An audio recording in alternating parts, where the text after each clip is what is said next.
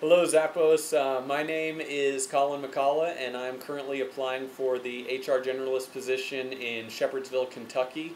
Uh, to the people who are watching this video right now and are potentially wondering if the images behind me are in fact photoshopped, no, in fact, they're real. And so, with that being said, I think we can uh, move forward with the video cover letter. A little bit about what separates me from other applicants um, from an HR perspective is that I really like to focus on people's strengths. And so, uh, in a collaborative work environment, what that means to you guys is what is it someone's doing well and what is it someone can improve on?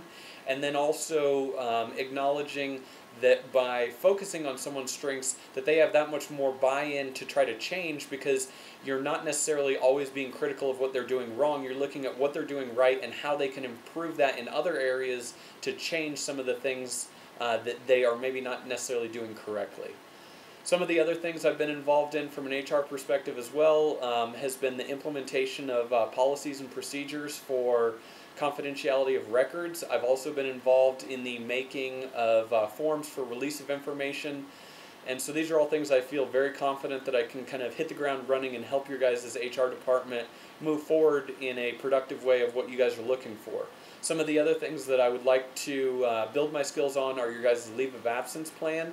And so I'm a firm believer that people should want to come to work, and then also that people need to respect that uh, people do have their own personal lives and need to do things in their own personal lives to be um, healthy and productive while they're working.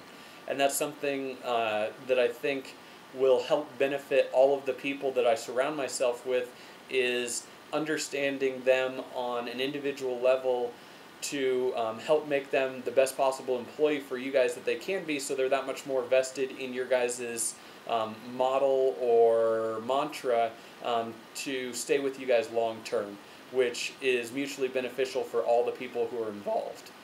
Uh, one thing that is a little weird about me that I need to uh, disclose is I currently have my karaoke license revoked in the state of Colorado. So if I'm given the opportunity um, to fine tune my skills even more with your guys' HR department, I hope to uh, gain that back in uh, the bluegrass state of Kentucky and hopefully move forward and be an even better singer for um, all the people um, at Zappos. So if you guys have any questions, uh, please give me a call and have a great day. See ya.